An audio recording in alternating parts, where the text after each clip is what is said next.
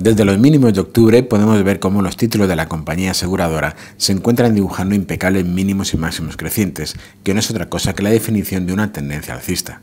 Por lo pronto el precio ha sido capaz de dejar atrás la importante resistencia que presenta los 2,88 euros, aunque no es menos cierto que en este momento cotiza en plena resistencia, como es el hueco bajista de la sesión del 29 de agosto en los 2,9230 euros.